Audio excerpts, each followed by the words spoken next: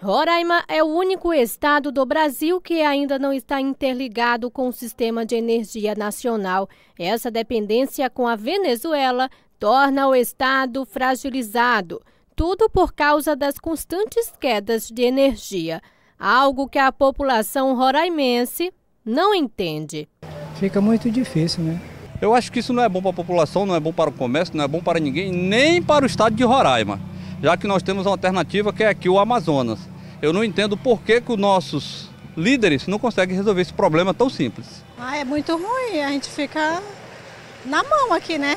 Imagine, a gente ficar sem energia. Segunda e hoje terça foram mais de três quedas consecutivas. Eu já perdi duas, tele, duas televisões por causa disso. É horrível, horrível mesmo. Tem que alguém tomar providência sobre isso, né?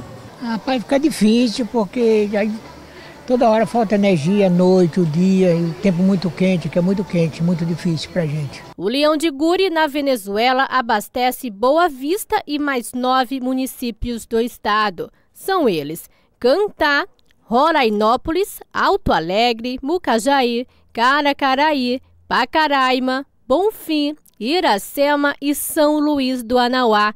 Todos são interligados ao sistema de transmissão venezuelano. A população sofre com as panes elétricas que acontecem há anos e agora voltou a ficar em evidência. Nós temos duas linhas de trabalho para amenizar esse tipo de situação. Uma delas é reduzir o tempo de, de, de entrada do nosso sistema em operação tá?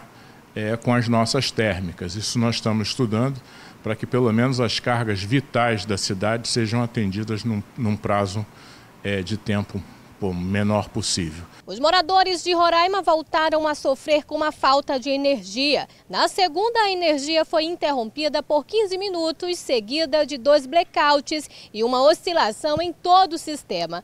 Nesta terça, aconteceu mais dois blackouts. Solução que a Eletrobras Distribuição Roraima ainda não tem e espera alternativas do governo federal é uma estatística que nós não gostamos que aconteça, mas nada impede que aconteça amanhã ou depois de amanhã, porque é uma coisa que está inerente à nossa vontade, não é, não é, nós não temos o controle sobre o que acontece no país vizinho. Esse é que é o grande problema nosso aqui. Enquanto isso, a população roraimense espera que esse problema seja resolvido, mas a Eletrobras garante que o Estado não vai ficar sem energia. Caso haja uma interrupção de um prazo mais prolongado, nós temos energia térmica aqui suficiente para suportar a carga da cidade. Tá? É, o governo federal já foi notificado, está se movimentando para colocar uma quantidade de óleo aqui suficiente.